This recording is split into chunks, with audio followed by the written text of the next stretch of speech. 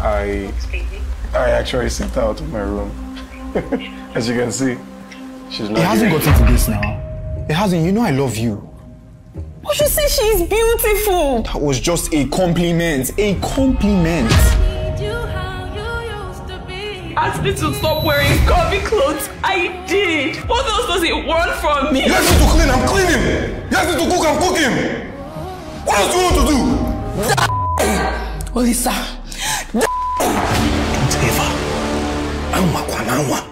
In your fine boy life, meddle in the affairs of my family. Inugo, I was planning on offsetting your mother's medical bill, but as you're no longer interested in working for me, get out.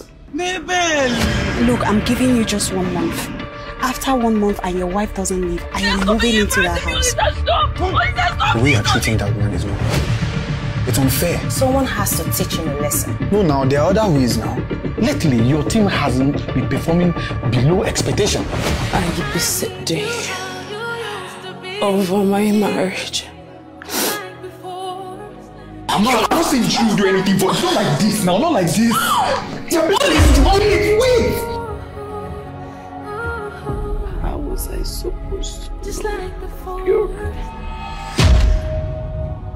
Did you just hear yourself? She's my wife. And you have absolutely no right to teach me how to treat my wife.